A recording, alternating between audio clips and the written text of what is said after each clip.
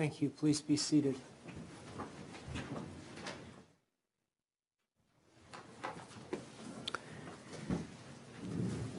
We are back on the record in the matter of State of Utah versus Martin Joseph MacNeill. The jury is seated. Mr. MacNeill is present with his counsel. The state's attorneys are present.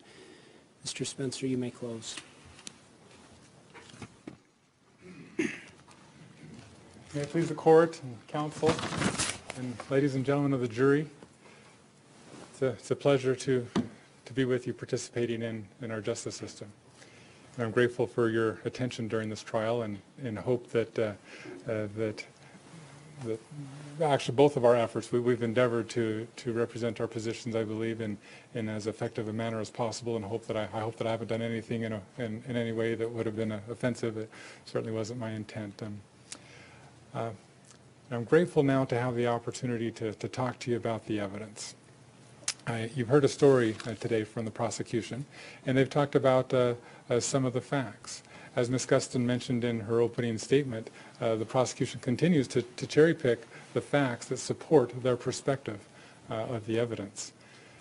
Uh, when I was just a, a, very young lad, my mother, who was frustrated for for being unfairly judged for marrying a man who wasn't a member of the prominent religion, she taught me Aesop's fables. I can remember it like it was yesterday. She taught me the, the lessons of the fable about the farmer and the serpent and how the farmer went out, went out into the field to work and when he returned to his house, he found circumstances that he immediately perceived to be consistent with the conclusion that he thought was accurate. And he acted upon uh, that perception only to later learn that that perception was wrong and that what he thought was the accurate interpretation of the circumstances was completely different. But it was too late. My mother also taught me uh, idioms such as don't judge a book by its cover. This is a case where, where those principles are very applicable. My client, Martin MacNeill, was living an alternative lifestyle. There's no, no dispute to that. Gypsy Willis wasn't his first affair. He was living a lifestyle where he had his, his so-called perfect family, his wife and kids, beautiful wife, as, as you've seen. And separate from that, he was maintaining a, a mistress on the side. Had done that uh, not only with Gypsy, but also Gypsy, uh, but also with uh, Anna Osborne in the past. when Michele passed away, is it so surprising that, that Martin would seek to, to move his mistress into a more prominent role in his life? Is it so surprising that he would seek to do that in a way that would be most palatable or acceptable to his children? Referring to the, to the temple incident, trying to smooth things out as, as easily as he could. These are all circumstances the, excuse me,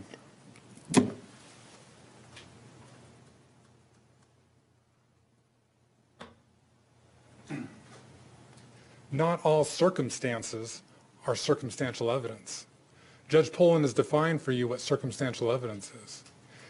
And in the instructions, he, he used an example. Circumstantial evidence is a scenario where, for example, if someone were to look out a window and see that the ground is wet and people are putting down umbrellas, it would be reasonable, reasonable to infer from those circumstances that it had just rained. There's a, a direct correlation from what you see and, and only one reasonable inference. The circumstances that the prosecution has presented to you today have multiple reasonable interpretations a few are, are consistent with, with their perception of, of homicide. There are perceptions or, reasonable interpretations of, of that circumstantial evidence consistent with a man trying to, to cover up his alternative lifestyle. There are reasonable interpretations of, of all the circumstances consistent with an odd and an eccentric man generally. I submit to you that none of the circumstances that the prosecution has submitted to you is consistent with homicide without a real possibility of other circumstances also being consistent. They don't rise to the level of proof beyond a reasonable doubt. All of the evidence which you hear in this case must be filtered through the proof beyond a reasonable doubt filter. That is the way our judicial system is designed. And it serves a very important purpose so that we don't have people who are in the wrong place at the wrong time or who do things that may look them, make them look guilty, but they are not. So we don't have those people convicted. That is what we have here too. Martin MacNeill did not kill his wife. It makes no sense that he would. All the evidence which you hear must be filtered through the principles of, of our judicial system, including that the prosecution has the burden of proof, that anybody charged with a crime, including Mr. MacNeill, is presumed innocent, and that the only way anybody can be convicted of a crime in our system is if there is proof of guilt beyond a reasonable doubt. Anything less than that requires you as jurors to exercise your duty in finding my client, Mr. MacNeill in this case, not guilty. So for example, if in consideration of all the evidence in, in this case, you find that he absolutely did not uh, commit this crime, you must find him not guilty. If in consideration of all the evidence you believe that, that his guilt is highly unlikely, you must find him not guilty. If you believe that in consideration of the evidence that his guilt is unlikely, you must find him not guilty. If you believe he's probably not guilty, you must find him not guilty. If you suspect that he might be guilty, you still must find him not guilty. If you believe he's probably guilty, this is the civil standard that, is this reference in the instructions that we use in, in most every other case that goes through the judicial system other than criminal cases. It's, it's more likely than not, or, or preponderance of the evidence. If you believe that there is a preponderance of the evidence that he's probably guilty, in criminal cases, you still must find him not guilty. That's your duty. Another civil standard, clear and convincing evidence of guilt. If you believe that the evidence in this case in, in reasonable circumstances, that there are reasonable conclusions that you think can be drawn from circumstantial evidence, rise to the level of, of only clear and convincing evidence, or too clear and convincing evidence of guilt, but not beyond, you still must find him not guilty. That, that's our system. Even if you believe that the reasonable inferences from circumstances rise to the level that you believe guilt is highly likely, but there remains a real possibility that he's not guilty, you must find him not guilty. That's our system. Applying the burden of proof, the presumption of innocence, and the standard of proof beyond a reasonable doubt as your duty as jurors to do. There is not evidence in this case that rises to the level of guilt beyond a reasonable doubt with no real possibility of innocence. It's simply not there. The prosecution has presented to you their, their cherry-picked versions of the evidence, of, of portions of evidence that is most consistent with their theories, and they have not argued to you the, the numerous uh, items of, of testimony or, or evidence that was submitted in this case that are inconsistent. Not the least of which is the testimony from the medical examiners. Medical examiners who told you that their duty uh, is to evaluate the evidence in the case, not just the evidence from the autopsy, but also investigatory information, and make conclusions regarding both the cause and the manner of death. The Utah State Medical Examiner, Dr. Frikke, is not a hired expert, either by the prosecution or the defense, but is an independent state agency. She, she performed the initial autopsy.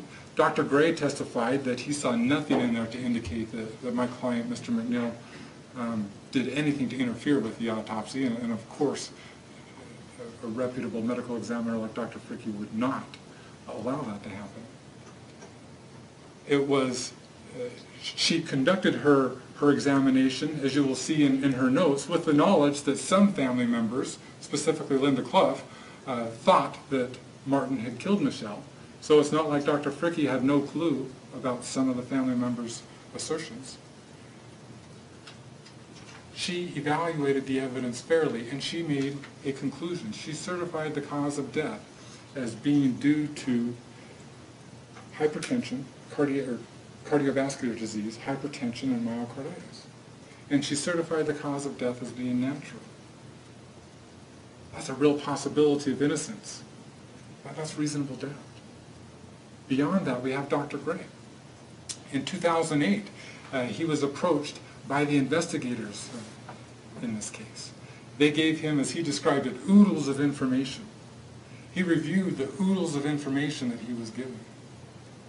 And after reviewing that information and reviewing Dr. Frikke's reports, he sent them back the email that, that we discussed in opening statement as well as during his testimony, where he said that upon reviewing everything, he believes Dr. Frikke was right. That there's ample evidence of death by natural disease process, and that he doesn't see evidence of drowning, and that the medications are low and not consistent in his mind uh, with somebody trying to, to over-medicate somebody and cause death. And that was in September of 2008. Dr. Grey then testified that over the next two years, he was contacted numerous times by the, the investigators again. They were asking to change his opinion. You heard evidence from, from a number of witnesses that the investigators said that they were trying to get around the medical examiner's opinion, both Dr. Frikke's original opinion and Dr. Grey's September 2008 opinion. And in the process of trying to get around the medical examiner's opinion, they continued to work on Dr. Grey as well. And finally, in October of 2010, they persuaded Dr. Grey to amend his opinion a little bit. He did not change the, the actual cause of death. He still said that the cause of death was cardiovascular disease due to hypertension and myocarditis. He added to that that drug toxicity, in other words, the medications that were in her system, may have contributed to a terminal cardiac arrhythmia due to the cardio- underlying cardiovascular disease. You'll see in his report, uh, as you get back to the jury room and review the evidence, that his language in the amendment was very carefully worded. And in relation to the drugs, he said they could potentially have had an effect. They may have had an effect. That's reasonable doubt. Even after he was persuaded to amend uh, the uh, official autopsy certification a little bit, he still found that the manner of death was undetermined, meaning that when he reviewed all of the investigatory information that he was given, and when he re-reviewed Uh, the autopsy, and as he testified, as he thought about the, the, the drug levels again, he thought, boy, that ought to be included in, in the certification. And so, so even after he did all that, he could not conclude this was a homicide. And that's exactly what he said on the stand, is that based upon all of the evidence that, that he had been presented, without the benefit of cross-examination, mind you. I hope that, if nothing else, some of my efforts during, during this case has showed you that, that much of the evidence that the investigators were presenting uh, was, was not quite what it appeared to be. That there were many inconsistencies and problems and variations and evolutions, possibly fabrications, certainly changes in perceptions of the evidence.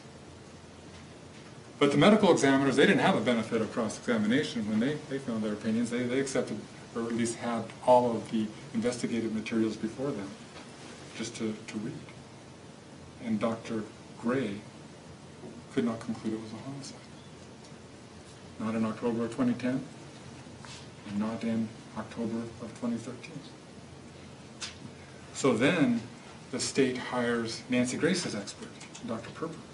They hire an expert whose opinion they already know because he's portrayed it to the world on Nancy Grace, and they already know that he has disputed uh, or or disagrees with the opinion of the Utah State Medical Examiners, both of them. And, and they hire him to review, supposedly do an independent review of the Utah State Medical Examiner's opinions when they already know what he thinks. Is it any surprise that that he, again, in his report, came back and said, I think Michele drowned? No, surprise. That's what he already said. As he stated on the stand in his report, he said nothing about this delusional uh, theory that, that he testified to at trial. That was new material after the, the- the discussion at the preliminary hearing in this case. And it wasn't credible information either. Uh, We submitted an exhibit of, it's Exhibit AA, which is the, the lab results uh, from Michele MacNeill's um, blood testing, both on April 11th of 2007, as well as, um, uh, here it says the reporting date uh, as March 30th, but it was from Dr. Welch's testing on March 29th of 2007. And you can see the comparisons. It doesn't take a, a medical scientist to go through and recognize that there's not a representation of 50% dilution in these labs. It's, it's pretty simple mathematics. Some levels are higher, some levels are lower. And in relation to the 411 labs, the other thing that we know is that they were drawn uh, during the time that Michele was, was, CPR was being performed on her, and had been performed on her for a long time. As Dr. Grey testified, post-mortem blood work is, is not reliable. And so for Dr. Perper to, to come and take this post-mortem blood work and say, this is 100% evidence of dilution, is just not credible. Nor is it credible that the lab would be able to, to give uh, results with blood that supposedly was 50% diluted. It doesn't work that way. If it did work that way, the reports on here that were higher would be 50% higher still. And so you, you take a look at her, her liver tests on the lab, her ALT and AST. Those are exponentially higher than they were uh, when she was tested on March 29th of 2007. If this blood represents 50% dilution, this would be much higher as well. Similar with her creatinine. Chloride is a good example. Chloride is, is one that, uh, uh, that Dr. Perper, I, I don't, I don't recall him mentioning. Uh, chloride is, is just about the same. Certainly doesn't represent a 50% dilution, the difference between 100 and 102. The Lab work doesn't support the reason. Now, as you saw, I, I cross-examined Dr. Perper fairly extensively. Not because the cause of death of drowning is, is so significant, but because of the fact that he was trying to rely on science that is not nearly as credible as he was making it out to be. Dr. Grey testified about that. Dr. Grey testified that, that both he and Dr. Frikke had examined the lung slides, and they were not consistent with somebody who had ingested substantial amounts of water. Dr. Grey is not the hired expert for anybody. He's calling it the way he sees it because that's his job. And all three of the medical examiners have a duty uh, to, to determine the manner of death. And none of them could conclude that this was a homicide. That's reasonable doubt. If medical examiners can review all of this information and cannot conclude that it's a homicide, then how could you as jurors look at all this information as well, even with the benefit of cross-examination, and conclude differently from that? It's certainly your province to do so. and I don't mean to be suggesting that, that it's not. You, you are the ultimate finders of fact in this case. But you do have the obligation to consider the evidence. And I submit to you that however you look at it, medical examiner testimony supports reasonable doubt. And therefore, the only just verdict at the end of the day in this case is not guilty on both counts. I feel like I could sit down right now because the medical examiner testimony is so clear.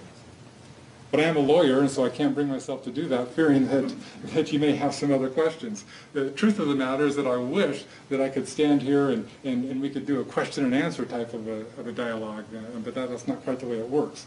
And so I'm going to talk about some other facts, uh, and, and hopefully they will address some of the questions that you have, particularly in light of, of uh, the prosecution statements. One of the, well, maybe before I do that, I also want to just bring it back out, the, the chart that we showed you in, in, um, in opening. And, um, with all of the, uh, uh, the medical examiner testimony, and they, they diverge in some ways. Uh, we have Dr. Frikke in two thousand seven, and, and then Dr. Grey in two thousand eight, when he was in total agreement with, with her. And then we have Dr. Grey with his amendment in 2010, and then Dr. Perper in his opinion initially in 2012.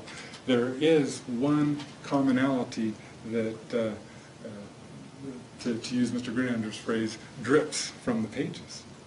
And that commonality is terminal cardiac arrhythmia secondary to hypertensive cardiovascular disease. All three of them found that that, that was a significant finding on autopsy. Dr. Frikke and Dr. Grey found that that was the mechanism of death related to the cause being cardiovascular disease. Dr. Perper found that the findings in relation to hypertensive changes in Michele's body were significant enough that he believed that that may have contributed to her drowning. In other words, caused her to fall into the tub. That's reasonable doubt. So what were the terminal, well, what were the changes that, uh, that led to a terminal cardiac arrhythmia secondary to a hypertensive cardiovascular disease? An enlarged heart, for one. There was what, what was described as left ventricular hypertrophy, or narrowing of the left ventricle, narrowing of the ostium, or, or the coronary artery. These are all independent factors that increase a person's risk of an arrhythmia. Uh, There was um, fatty liver disease, which Dr. Grey testified about, would increase one's risk of an of arrhythmia. There was also the prolonged uh, QT syndrome that we talked a a fair amount about. All of those factors increased Michele's risk of arrhythmia. All of those factors led the three medical examiners to have this common conclusion. That's a real possibility that Martin MacNeill did not kill his wife. That's reasonable doubt. That requires you in exercising your duty to find him not guilty. Beyond the findings in the heart, what else did Dr. Perper find? He, he found that uh, the medical examiner's uh, opinion, uh, Dr. Frikke's opinion in relation to the kidney didn't go far enough in identifying hypertensive changes. He found that, uh, that Dr. Frikke's opinion in relation to the fatty liver didn't go far enough, that he found even more changes in the liver. As Dr. Grey said in, in his uh, September 2008 email, there, there's abundant evidence of natural disease process that reasonably would lead to death. August of 2013, after both Dr. Grey and Dr. Perper have been presented with additional investigatory information after the inmates have been interviewed. They reviewed that, that additional investigatory information. Dr. Grey sent an email, which we discussed during the trial. And in that email, he said, while the inmate testimony, he didn't use the inmate testimony, he used additional information. While the additional information may increase suspicion, in his opinion, it doesn't overcome the natural evidence of disease of leading to death. And he again comments that the levels of medications are relatively low. That's reasonable doubt from the medical professionals that, that are trained in, in interpreting this type of evidence. The prosecution is, is wanting to, to jump from one of the steps of the medical examiner and, and and have you ignore their opinions to a degree. As Dr. Grey testified, it is the medical examiner's job to, to determine whether or not somebody died due to a homicide. But it is not the medical examiner's job to determine who committed the homicide. It- that, that's, that would be your job. And so if Dr. Grey, Dr. Frikke, or Dr. Perper had determined that there had been a homicide, they would have come to, to court and they would have testified that they believe that, that Michele died from, due to a homicide, and then you would have had the obligation to determine who committed it. Well, in this particular case, they, they don't even get to first base, because the medical examiners couldn't conclude that it was a homicide.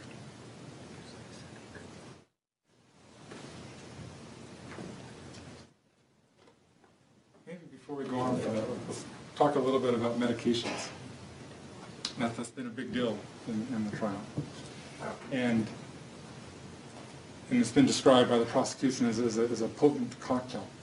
First of all, there is not a single bit of credible evidence that anybody other than Michele MacNeill administered medications to her that morning.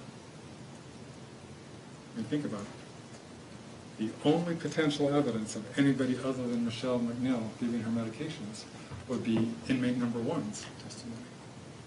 And as Mr. Grunander explained to you today, inmate number one testified that, that uh, uh, Martin MacNeill gave her oxys in court. In, in his original statement, he said that uh, it was OxyContin, uh, which although has the same underlying drug, is different than, than oxycodone. And he testified that he knew the difference, but in his original statement, uh, he, he used over and over OxyContin. Said they loaded her up on OxyContin. And when that didn't work, he gave her some more. This is a perfect example of how the prosecution is cherry-picking information.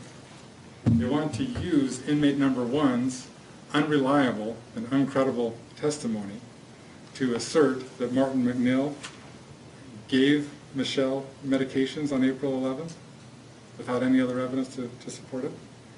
And then they want you to ignore that portion of Alexis's testimony that was that Michele did not want to take any medications from Martin and insisted on Alexis giving her medications because she was supposedly afraid.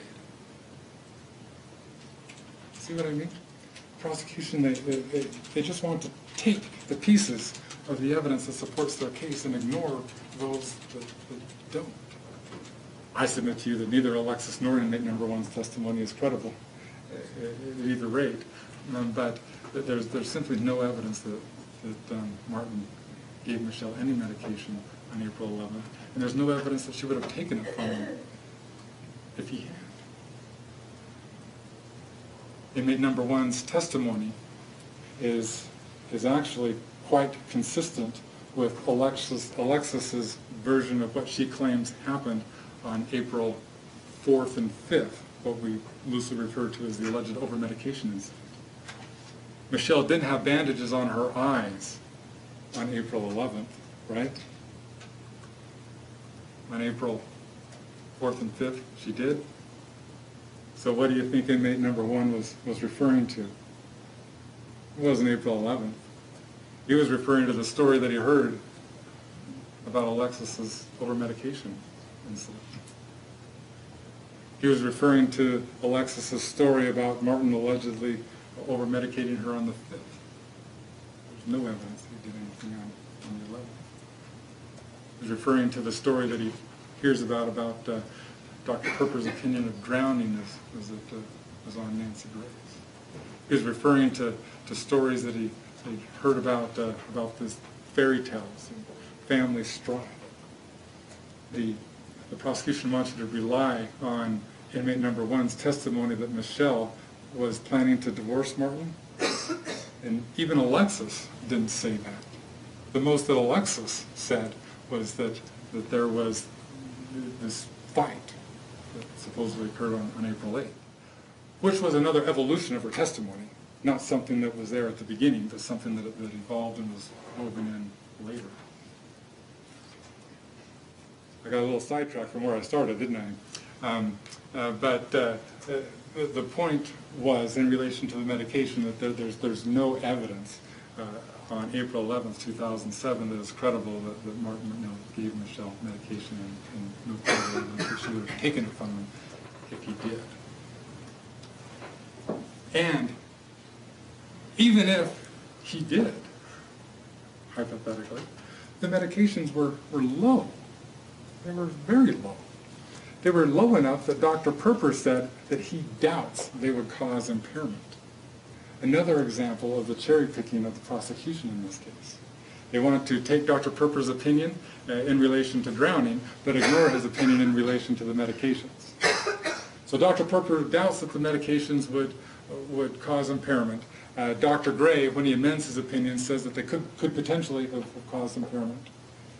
Dr. Dawson testified uh, that uh, he thinks that they could have left Michele significantly obtunded.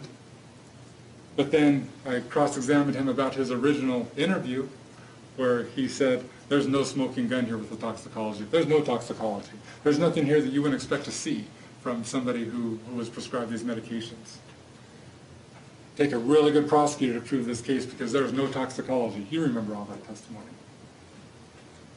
And then we have Dr. Thompson, another doctor, another doctor whose testimony the prosecution wants to ignore. Remember what he said about the medication? He said, even if somebody took it all, even if somebody took all of it at the same time, he wouldn't expect it to, to cause any problems because we give this medication in the hospital all the time. And in fact, if you look at his records,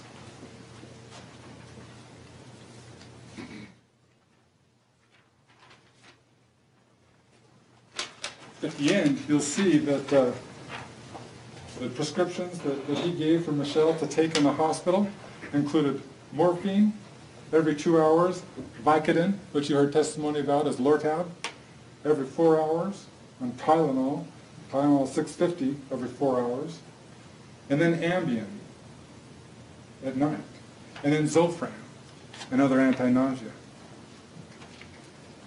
So even in the hospital, Dr. Thompson prescribed a similar, as the prosecution would term cocktail of medications. Dr. Dawson testified about the Ambien, Ambien in, in his initial interview that that level was low, fairly low. Doesn't know whether it would make any difference or not. All the levels that we have are not even considering the, the now well-recognized principle of postmortem redistribution. The prosecution tried to counter postmortem redistribution by coming up after the preliminary hearing with this, this dilution theory. But even, remember we did that chart, and I'm not a very good artist, but I tried to explain it to you. Uh, we, we did the chart about comparing dilution and postmortem redistribution. Even if we take the highest levels of potential dilution, of 50%, which isn't supported by the evidence, but, but even if we use that, that is so much smaller than the likely effect of postmortem redistribution. In other words, 50% as compared to a 200 or 50% uh, decrease pursuant to dilution, is what they would argue, as compared to a 200, 300, 400, 500, or 600% increase in medications as a result of postmortem redistribution. Postmortem redistribution would occur after the blood has already been allegedly diluted.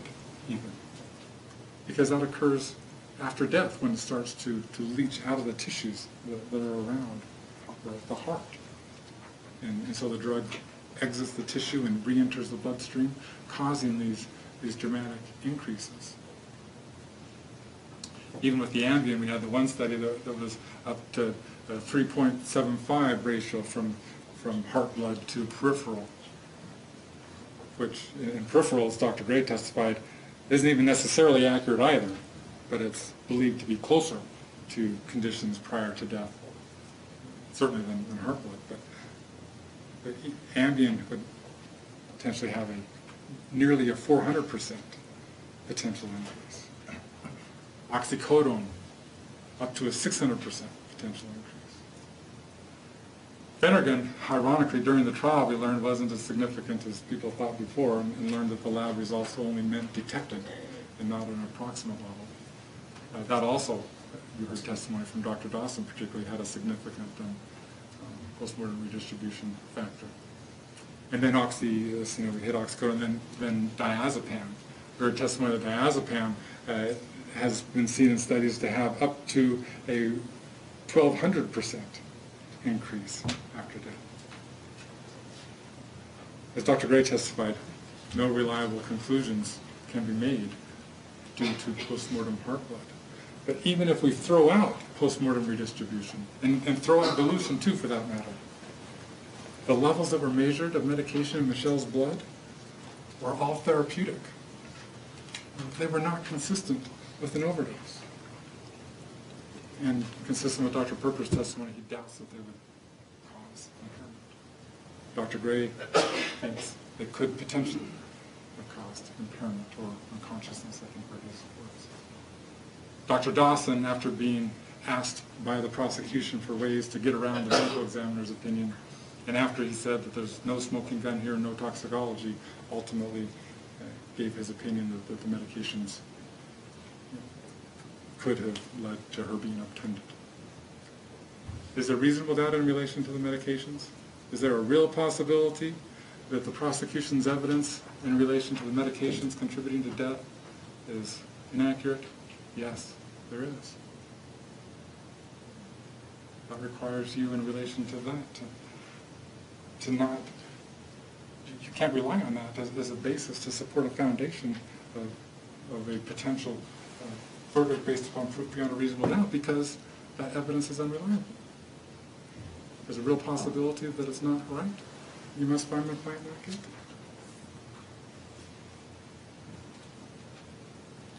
A lot more that could be said about the, the the medication, I suppose, but I, I think you understand it. And, and I'll, I'll move on. There's lots of other evidence in this case that, was presented from non-expert testimony. You heard it. You heard the inconsistencies oftentimes. You heard the, the evolution of perceptions.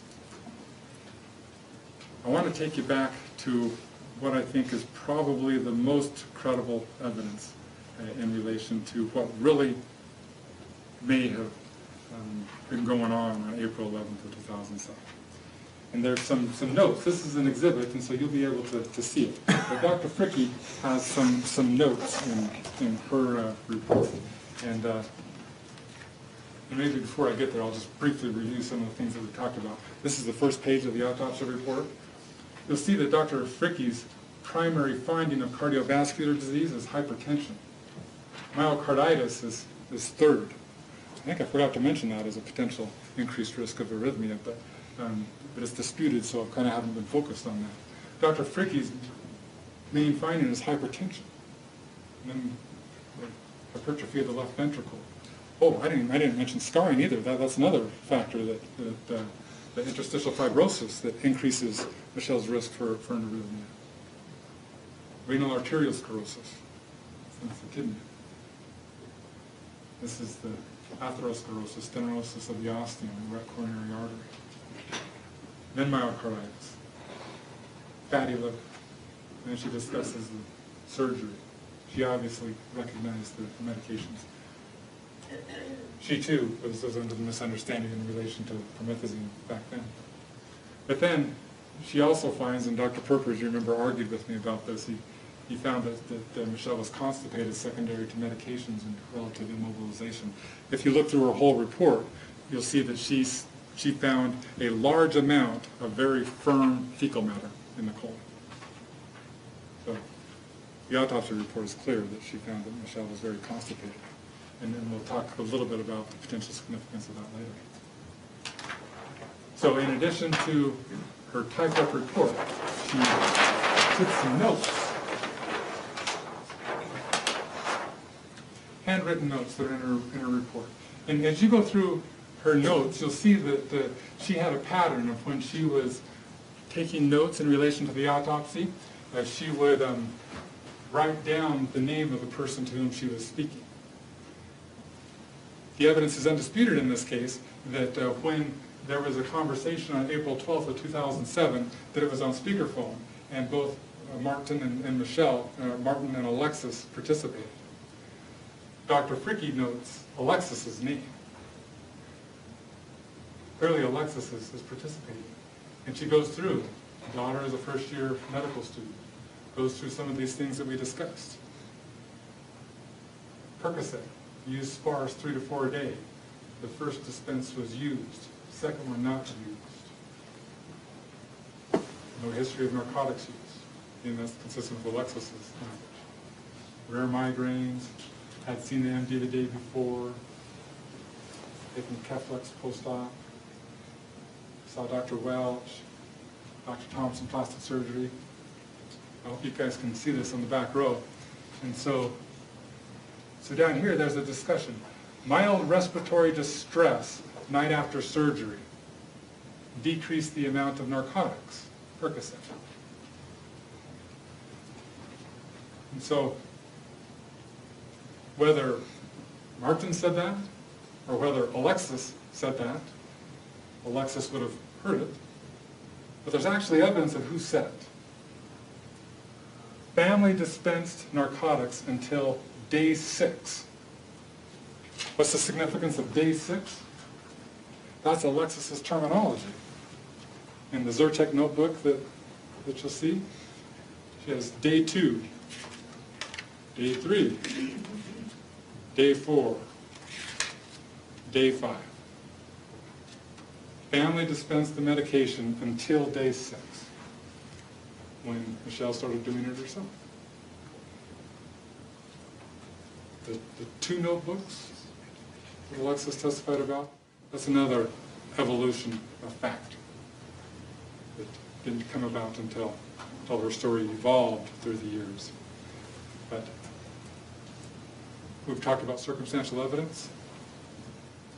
This is circumstantial evidence from which a reasonable conclusion can be made that this was the initial version of Alexis's story about over-medication.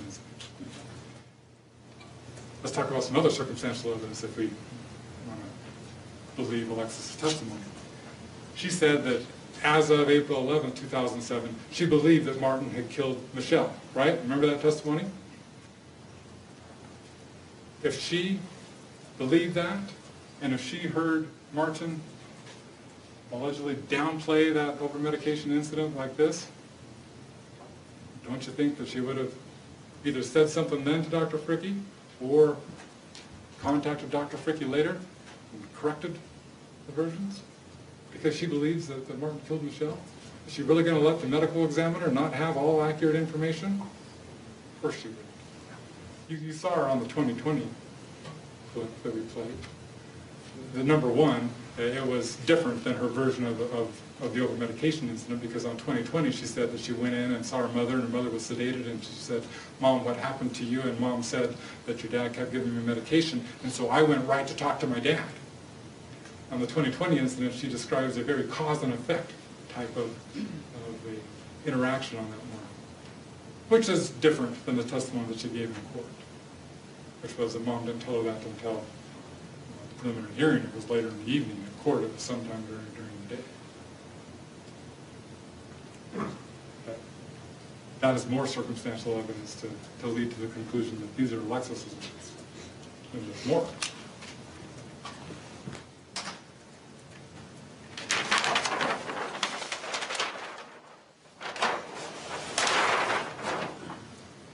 So on the next page, at home, we're massaging her legs. Whose words were those? Those were Alexis's, weren't they? Making her walk. Whose words were those? Those were Alexis's. You heard them. AM of death. She was helping get younger children ready for school. Whose words were those? Were Alexis's, weren't they? She was feeling a little sick. Feeling a little sick. Whose words were those? Not during court, but during the funeral. That's an exact quote from Alexis's funeral talk. She was feeling a little sick on the morning of her death. But what does Alexis testify to in court? Mom is doing just great. She's up, up and about, doing laundry, getting the kids ready for school, gonna pick up Ada from school. She's, she's going to take the girls to ballet. And yet, back on April 12th of 2007, Dr. Frikke recur- records Alexis's words. This is powerful circumstantial evidence from which the conclusion can be drawn. This was Alexis saying this. And even if it wasn't, it was her listening to it.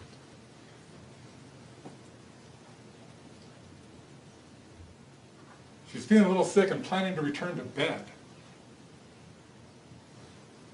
If Michele was feeling a little sick and planning to return to bed on the morning of April 11th of 2007, isn't it also reasonable to, to conclude that she may have decided to take some medication herself? Not an overdose, mind you. Nobody thinks it was, from the defense point of view, nobody thinks that there was an overdose. But it's certainly reasonable to conclude that, that she would voluntarily have, have taken some medication that morning. Ambien she probably took the night before. Blood pressure slightly elevated, not taking blood pressure meds, second degree nausea. Again, all likely coming from, from Alexis. And down here, we get talking about eye drops, prednisone eye drops, four hours. And he was administering them. Nothing about him administering anything other than than eye drops. Percocet, one to two, and then, then we go on to, to more of those. Rarely used, though, Percocet, rarely used, to use only one. Again, those are Alexis's words. He was monitoring her heart rate.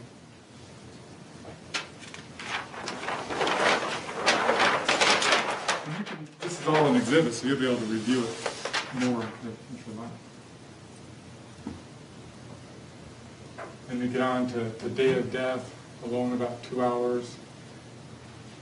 It goes through, through the schedule.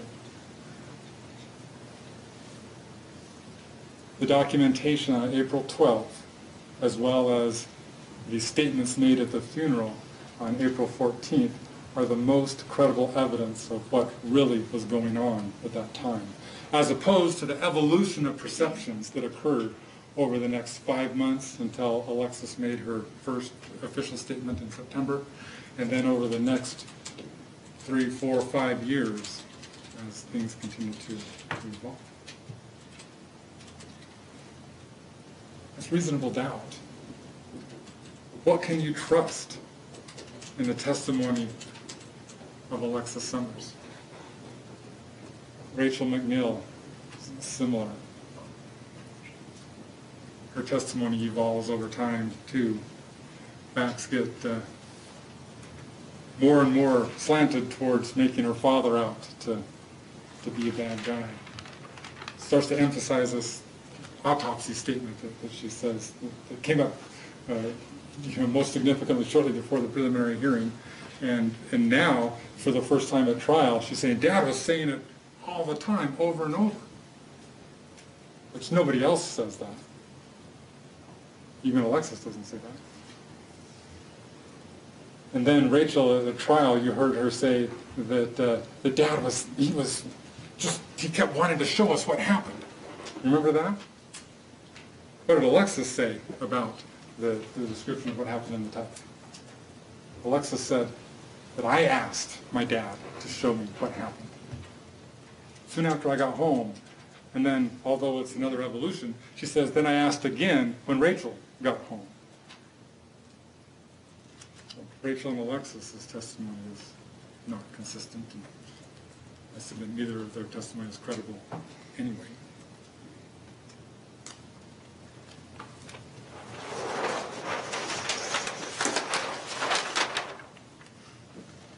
There's a lot more things that, that I could um, point out uh, in relation to the inconsistencies of, of both Alexis and Rachel, but I believe that, that you heard them in, in our cross-examination, and, uh, and we'll have them in your notes.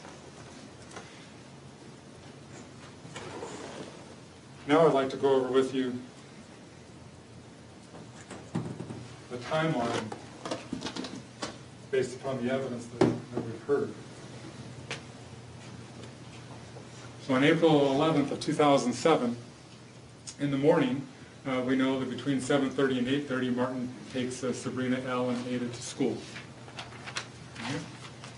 We know from Alexis's testimony and also the phone records uh, that there was a phone call from Alexis to the Michele's cell phone, or I'm sorry, to the house phone uh, at 8:41, and Alexis had testified in the past, and she affirmed it in court, that there was no answer on that call. At 8:44, Michele calls Alexis back from Michele's uh, cell phone to Alexis's cell phone. And interestingly, if you look at the records, uh, for some reason it comes up blocked uh, from Michele's phone to, to Alexis's. Uh, And so if you look on Alexis's records, it'll show as a blocked call, but if you look on Michele's, you'll see who, who she called. And it's curious why, why Michele would block it that morning too, because, just the night before, there were calls that show up on both of the phone records. Probably doesn't make a difference to the price of tea in China, but interesting. And so at nine ten, Martin calls from his office phone to Alexis's cell phone, shows up as a two-minute call on Alexis's records, a sixty-six second call on Martin's work phone records. Alexis claims that that was a voicemail. It's a long voicemail, if it was, could have been. Nine seventeen, Martin calls Michele's cell phone for thirty-six seconds. Nine twenty-six, and, and this is uh, from Martin's work phone. Nine twenty-six, Martin calls from his office phone to Gypsy's phone. He also called her up, up here in the morning too. Strange thing to do for somebody who allegedly is planning to kill his wife on, um, on a particular day to, to be making clearly traceable calls to, to his mistress. 9:30, when Alexis says that she was in, um, uh, in her neurology lecture, she has a seven-minute call to customer service, T-Mobile. Sometime between 10:40 and 10:50, Melissa Frost says she got a call from Josette Harding stating that Martin is ready to receive the award. Well, if you look at Martin's phone records that, that are in there, there's no record of him calling back to the developmental center during, you know, the, the, the nine to twelve o'clock hour. How did Josette Harding know that Martin was ready to, to receive the award? Reasonable that Martin had to be there, right? Nobody at the developmental center and nobody in the neighborhood saw Martin running back and forth in, in the morning of, of April 11th, consistent with the prosecution's plan that he, he went out to, to kill Michele sometime between 9:30 and 11. So circumstantially, it's very reasonable to infer from the evidence that we have that Martin must have been there to tell Josette Harding that he was ready to get the award, so call Melissa Frost. 10:50 a.m. Utah time, these are all Utah time, Alexis calls from her cell phone to the house phone. She uh, testified during trial that nobody answered. But remember the two emails that, that I showed you, uh, showed her? Uh, one from uh, September 14th and the other one from the 23rd, I think, or I think two emails in September. Both times she said that she knows that she called and talked to her mother around 10:30 Utah time. Not surprisingly, there, there's a call at 10:50, pretty close to around 10:30 Utah time. In other statements that, that Alexis had made, uh, that, that we discussed during her cross-examination, she said that when she got this voicemail from her father, that it was just weird, and so she repeatedly called her mother, both on the cell phone and on the house phone, multiple times to see what's going on. Well, look at her cell phone records. It's not there. Remember I questioned her about that? Do you remember her answer? Well, we didn't have an answering machine then. Remember that? Well, if if her if her multiple phone calls when she's concerned about her dad's voicemail wouldn't show up on, on the answering machine or voicemail? How did this call, that was a no answer, show up on Alexis's phone records? How did this call, that she says was a no answer, show up on her phone records? Obviously, they had voicemail. If Alexis was so concerned after getting this, uh, what she says was a voicemail from Martin at 9:10, that she called her mother multiple times on both the the cell phone and the house phone, we would have records of it, and we don't. She's, her story has evolved. Her perceptions have changed. Her perceptions are incorrect. Turn over the crib, and you see the truth. Alexis' story in court was not accurate.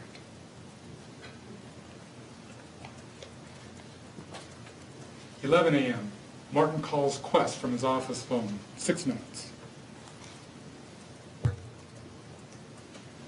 Something else that seems a little odd for somebody to do when the state thinks that there's this grand scheme to, to kill Michele on this day.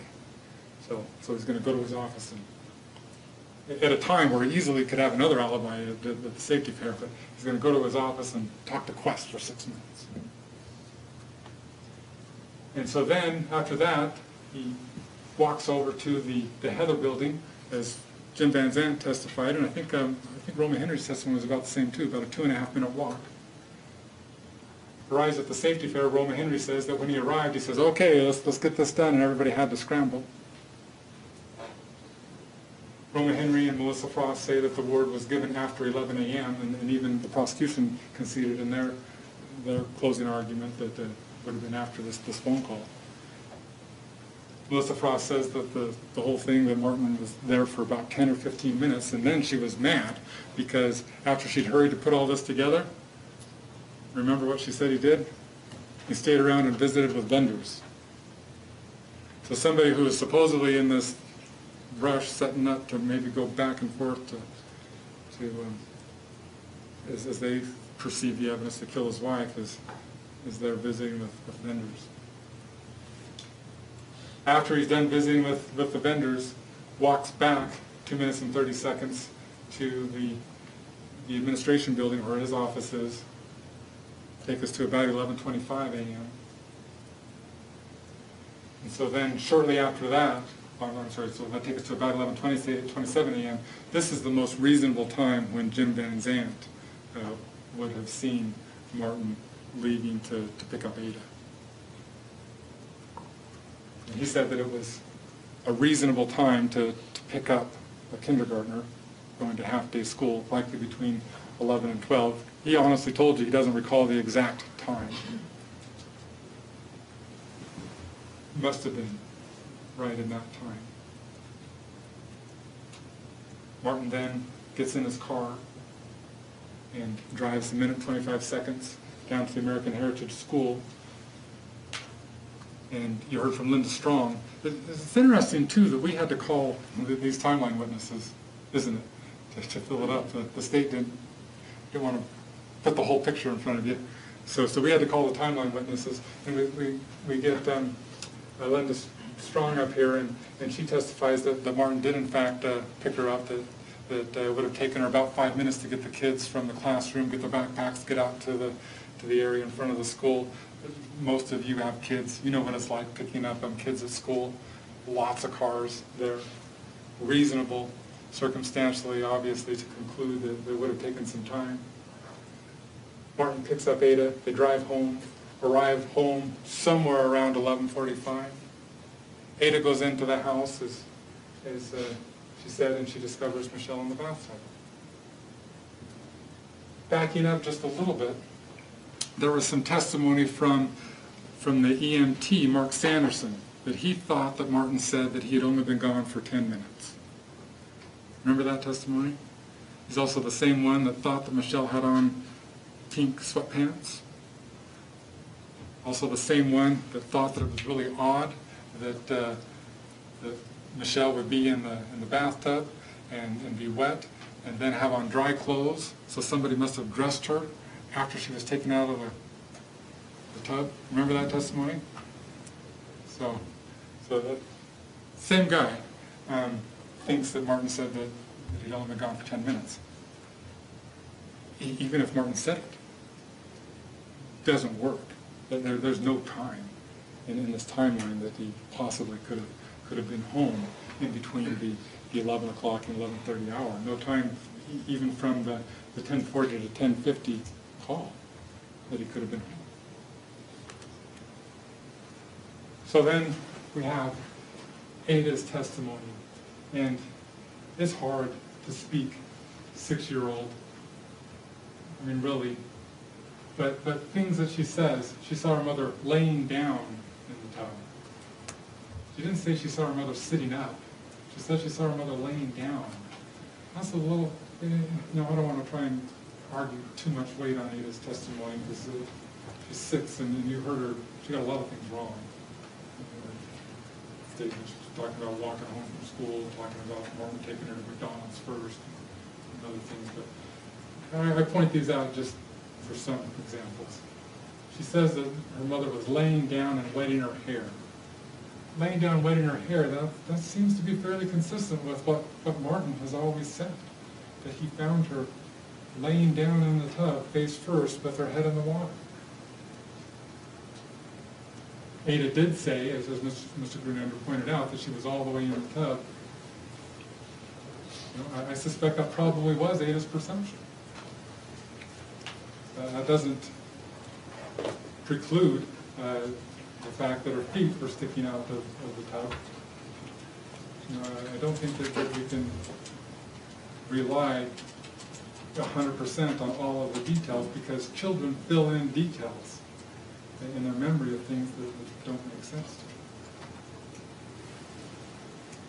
She also says that dad tries to lift her out. Dad kept screaming, quick, help. And then she said, dad told her to, to go to the neighbors and and get help. So we have this issue with the pigs. and the prosecution implied in their closing argument that, well, since Ada said that, that Michele had pants on, Martin must have removed the, the pants in between the time that Ada left and when the neighbors came back. I can certainly see how they, they're making that argument, but does that make any sense? What difference would that make? Martin had no idea how long it would take for Ada to, to get back with the neighbor when she left the house. Is he really gonna be spending time trying to, to get pants off of a wet body that's in the bathtub? As the prosecution wants to believe sitting down, which would make it even harder to get pants off. It Doesn't make sense. The most reasonable conclusion of the evidence is that Ada was mistaken about pants. Now, about the tub and, and out. Uh, Mr. Grunander suggested that why didn't he just get in the tub, you know, like this, and lift her out?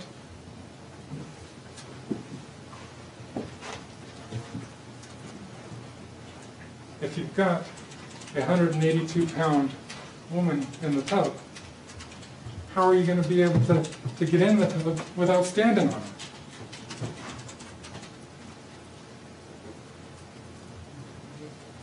It doesn't make sense. What's the most reasonable conclusion of what somebody would do if they find somebody, as, as Martin described over and over, that uh, she was face down in the tub with her head by the, towards the faucet and just her feet sticking out, and she's, she's in the tub like this, with her face in the water. Are, are you going to leave her face in the water longer and grab her legs and pull her out?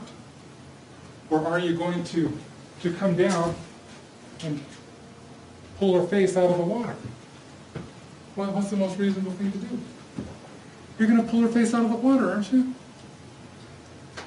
That's the most rational thing to do.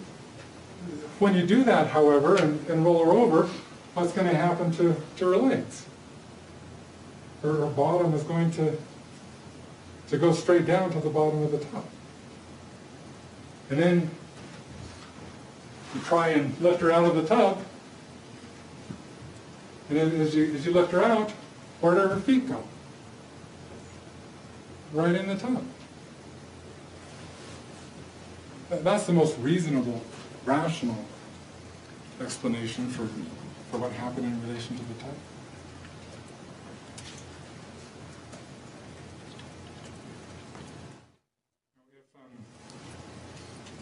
If we go with this, the theory that Martin got some of the facts wrong that day, he was certainly in good company.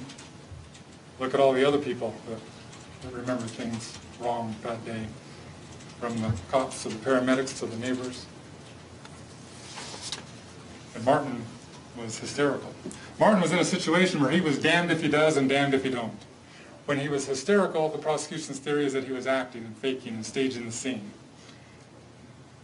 Then, At other times, when he wasn't hysterical, then the theory is that he was not showing appropriate remorse. How does the guy win?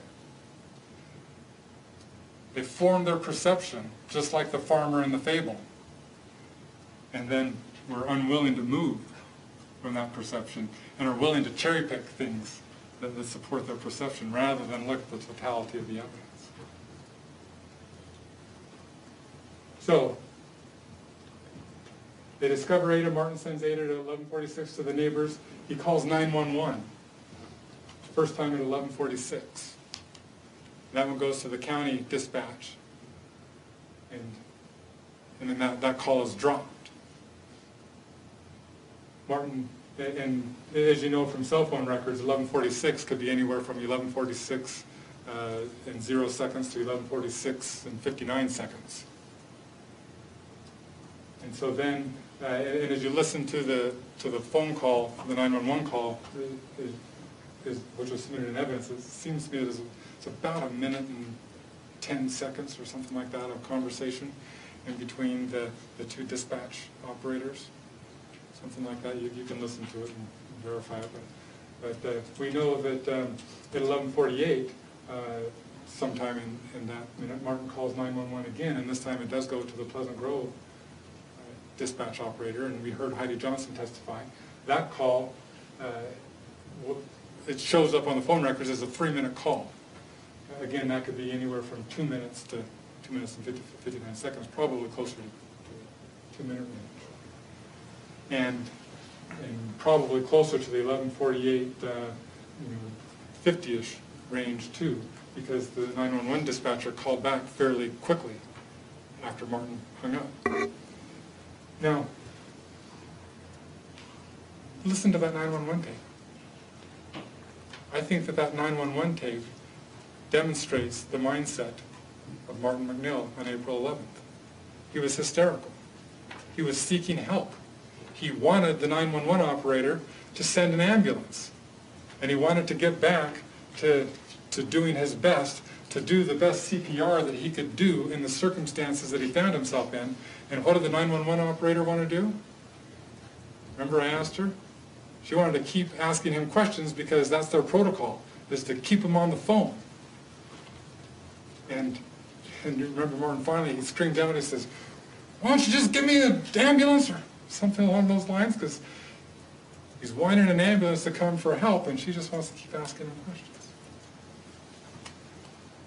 Is there any time in here that he, in theory, could have removed Michele's pants and maybe, as, as the state wants you to believe, finished her off?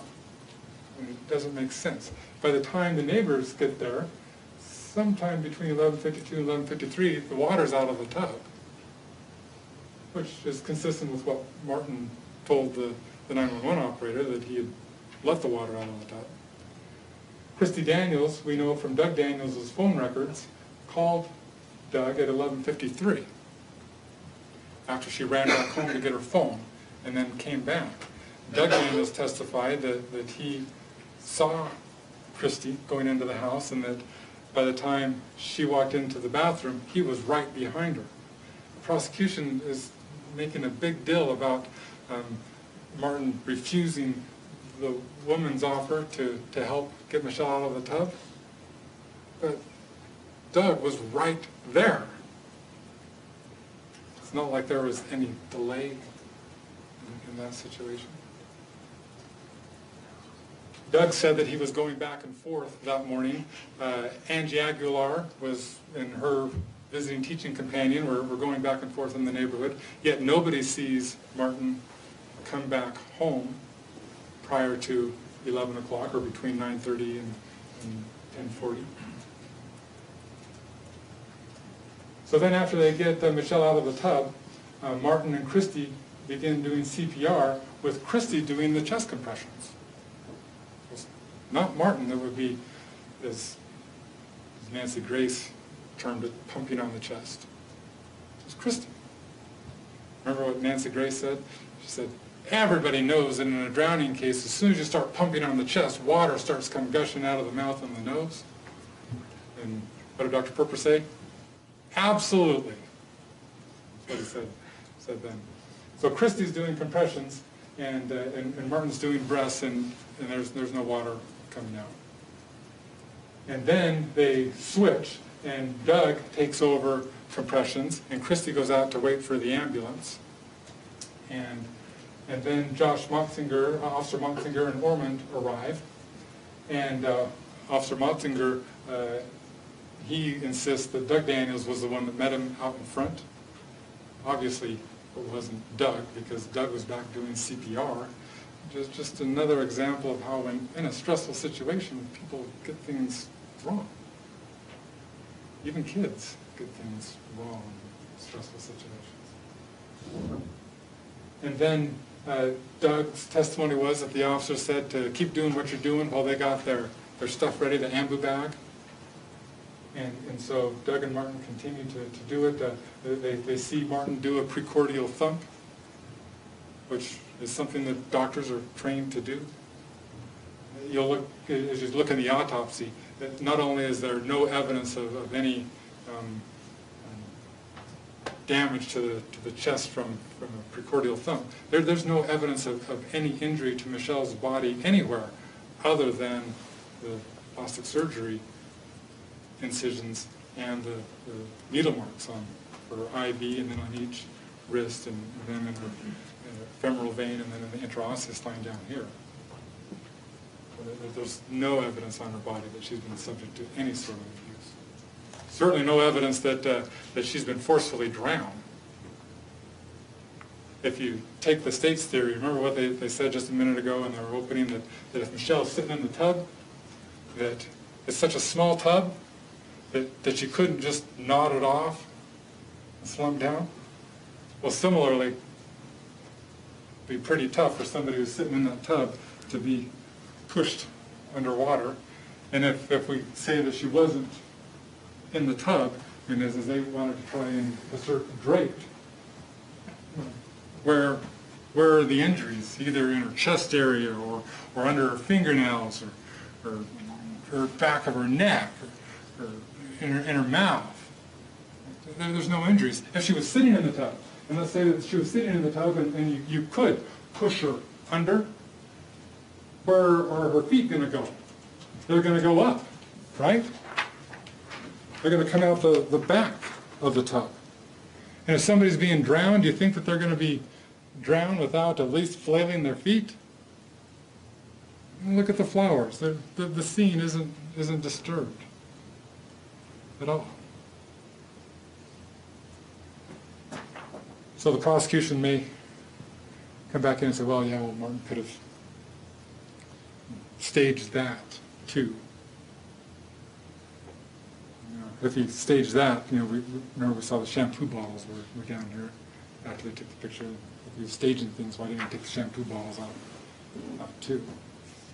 Alexis testified about a, a rug that was found in the, in the garage that she says was usually in front of the tub by the step. But look at the picture, there's no step here. If we want to look and try and find a step, the best that you could do would be opening the shower door and, and having the ledge here, but there, there's no step in front of the tub. And, you know, if the prosecution, you know, this is the last time I get to talk to you, and I'm probably going too long, I'm sorry, I just have so much to say, and hope you'll bear with me, um, and I'll try and, and be short, but, but they get to go last, and so I'm not going to be able to rebut the things that they've saved to, to tell you in, in the rebuttal, so, so I, I need to anticipate a little bit, that, you know, Alexis made some testimony about a rug being out in the garage. Well, th- th- That was an evolution too. Um, But if, let- let's say that, that um, Martin was supposedly staging the scene and trying to hide evidence of an alleged homicide, is it reasonable that you take it all the way to the garage and leave it there? It's not reasonable, is it? If you're really trying to cover up a homicide, you're going to take evidence where it's not going to be found, rather than where Rachel, as she describes the, the stuff in the garage, oh, oh it's all this big bloody mess. And then upon further cross-examination, admitted that, well, just a little bit of blood, but she's afraid of blood. You know.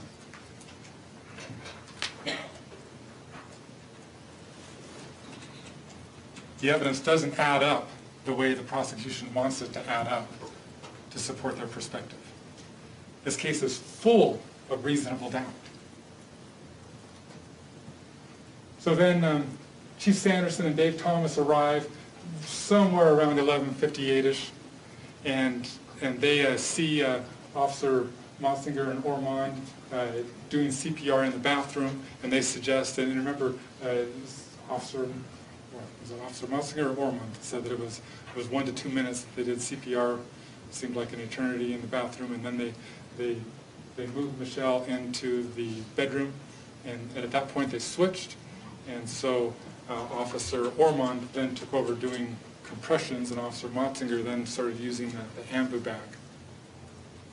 And then sometime in the eleven fifty-eight-ish to, to twelve o'clock-ish time, when EMTs are setting up, somebody's setting up equipment, that, that's when they say that the, the throwing up incident occurred, and that there were two incidents. Dr. Perper testified that somebody who still has, uh, that still has some living functions going on can't throw up, right? We don't know whether she was throwing up due to still having living functions or, or whether it was due to, to compressions, but some of the evidence seems to support that it could have been a terminal agonal event, as Dr. Perper put in his original report. They, the first incident occurred while, while um, Officer Motzinger is, is doing the ambu bag, right? And then they roll her over, and so they're, they're not doing chest compressions anymore.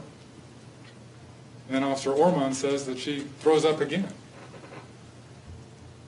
So that wouldn't be the result of, of water being pushed out of the stomach the second time. Why is that significant? Probably not terribly significant, but it's consistent with, with officer, not officer, with Dr. Perper's opinion about the, time of death. He indicated that he believed that uh, Michele most likely would have died within an hour of arriving at the hospital, which was 1225. Dr. Van Wagener at the hospital also said that he believed that it's most likely that Michele would have died within an hour of arriving at the hospital, which was 1225. The EMT said that they wouldn't have worked on Michele if, if, if it was obvious that she had been dead a long time. The EMTs, paramedics, police officers, none of them noticed lividity. Uh, um, uh, Officer Ormond, remember, he said that when he was doing CPR that he noticed um, color coming back into Michele's face. Another indication that that probably she hadn't been down very long. And where was, was Martin at eleven twenty-five? He was at work. He'd been there since ten forty to ten fifty at least. With walking time, would have been, you know, somewhere around seven, eight minutes from his house. Twenty-three seconds to walk from the house to the car, and then anywhere from three to five minutes, depending on which speed Officer Robinson drove to drive from the house to the developmental center, and then a minute and twenty-one seconds to walk from the parking lot to the, to the medical building, where he could have talked with, with Josette Harding to have her call. So uh, during the time period when it's most likely that Michele would have fallen into the tub, Martin couldn't have been there. when Ada first found her, she, she saw that the water was, was brownish, consistent with, with blood. If you look at the autopsy photo, only one was, was submitted as relevant, and that shows the injury up on the top of her head, and, and that it's bleeding down the side of her, of her head. Again, back to circumstantial evidence that, that actually supports reasonable alternative theories to the prosecution's perspective. The reasonable inference from that evidence is that when Michele fell in the, in the tub, she very likely did strike her head. And it makes sense if you think about the, the angles and, and where her head could have hit. Does that really make a big difference in the end of the day in the case? I don't think so, but it, but it's certainly a- an explanation for why uh, she was in the tub and had bleeding coming down the, the side of her head and why Ada perceived the, the tub water to be brown. The AMBU bag, we heard testimony from, from uh, Dr. Van Wagener about how uh, being over-aggressive with the AMBU bag can cause injury to the lungs, which tends to go along with, with what happened in this case. Maybe Michele drowned, and maybe that, the, the blood coming up was due to drowning, could have been. Maybe it was due to the AMBU bag. Maybe it was due to other causes of death. Both Dr. Grey and Dr. Perper testified that, that, that, that that the foam is, is not peculiar only to drowning, related to other causes of death too. And that in fact there are, are no um, autopsy findings that are absolutely definitive of, of drowning, although Dr. Perper tried to overstate it with his delusional theory. So then Michele arrives at the hospital. Martin continues to be hysterical, says some things that of course are odd. The $10,000 comment, I mean, I have no explanation for that other than it's odd. Certainly is not uh, necessarily indicative of, of homicide, much more consistent with a very hysterical man who, who just lost his wife. He uh, may have been living an alternative lifestyle, but he was clearly hysterical at the loss of his wife. And even Rachel admits that in her testimony. Remember, she said that when she first got home, Martin was in the room staring down. When she talked to him, he was crying. And Rachel's email on June 3rd of 2007 that she sends to Alexis when she's getting suspicious about the nanny, which is a little bit different than, than her testimony that we heard in court about when her suspicions arose. In that June 3rd email, she says, I know that dad is suffering because of mom's death. But there's something really weird about this nanny. And then she goes on to list all of the concerns that she has. And so it, if you look at the objective evidence from 2007 again, it seems that it really wasn't until June that Rachel started to have concerns or misgivings about the nanny. And then she writes that email to Alexis asking her about it.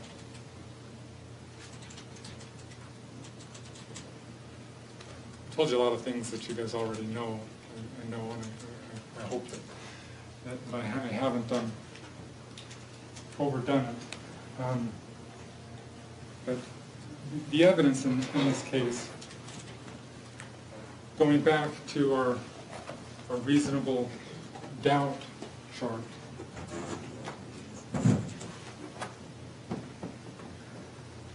I submit to you in, in no way can rise to the level of guilt beyond a reasonable doubt. Wherever you, you look at it in, in the continuum. And, and, and some of you may have differing opinions uh, as, as to, to the level to which the evidence rises. But based upon a fair evaluation of the evidence in this case and the credibility issues, it does not rise to this level. The most powerful evidence that, that the state presented to you and what they saved for last were, were the inmates. Inmates who all had an inherent motivation to lie. Inmate number, well, let's, let's look at the inmates. the two inmates that, that gave testimony that was most, most helpful to the prosecution happened to be the two inmates that were seeking benefit, right? Inmate number one and Jason Poirier. Kind of makes sense, doesn't it? The other inmates, um, you, know, they, they said some things that uh, perhaps supported some of the prosecution's perceptions, at least to the degree of, of, um, of the, the bitch comment and, and the notion about um, there being no evidence. But is bitch really an unusual word for inmates to use? Think about it. It's so unusual. And, and the inmate's testimony comes two to two and a half years after the time that they say that they perceived the events. And these are inmates. What's going to happen to their testimony over that time? That- That's going to be confusing as to what they really recall, particularly when you factor in their self-benefit portion of it. And then we have inmate number one that we talked about briefly, who, who his testimony seems to, to mirror um, as much of, of Alexis's story and, and the Nancy Grace um, stuff about uh, drowning.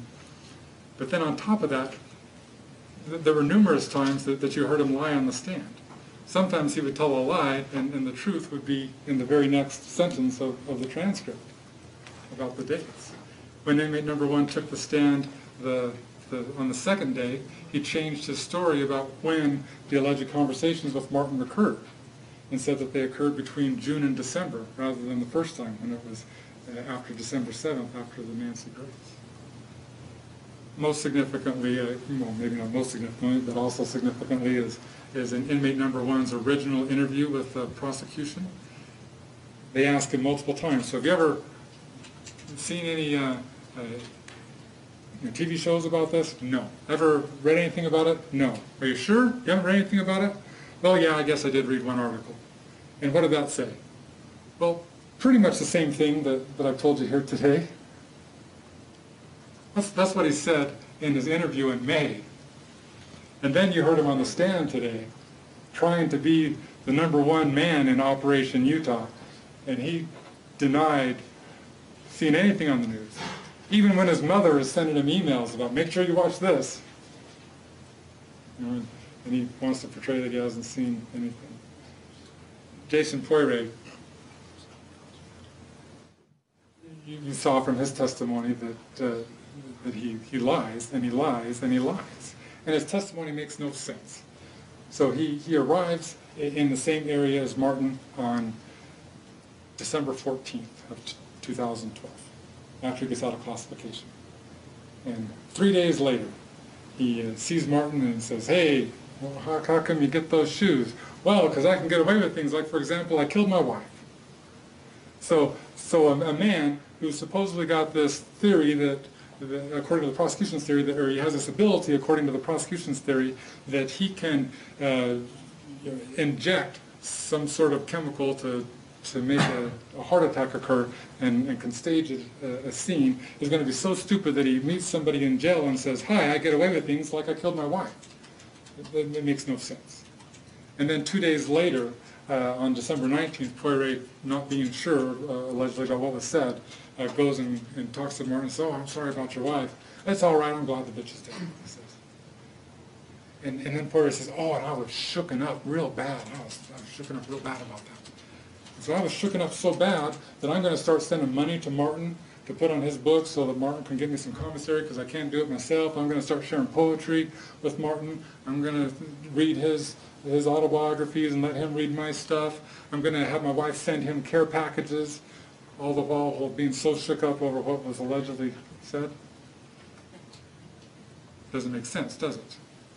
And then on January 7th, Poirier goes to, to court and he finds out that, uh, uh, that he's facing a long time in jail and likely prison on the second offense. And, and, and Martin's confessed to murder. It's not credible. Is there a real possibility that the inmates are not telling the truth? Yes, there is. There's a real possibility that they're not telling the truth. Their testimony cannot be a basis to reach this high level of guilt beyond a reasonable doubt. Their testimony is inconsistent with so much other evidence in the case. You have the medical examiners being inconsistent with each other. We- didn't even mention Dr. Cragen in here. So we have the three medical examiners that, that are consistent on this, and remember what Dr. Cragen said about um, high blood pressure? It's a silent killer.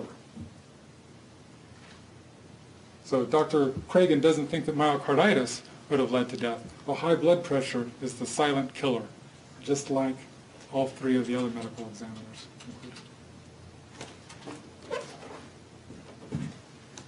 I think I've probably worn out my welcome in front of you, and and I'm, I'm, I'm sorry if I talked too long.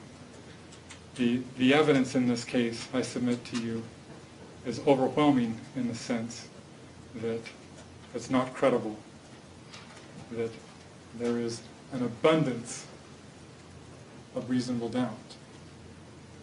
When you go back to the jury room, I certainly hope that, that you will evaluate the evidence, and as, as you review it and consider everything that, that you've heard in, in this case, that, that you will return a verdict of not guilty on both counts. Thank you.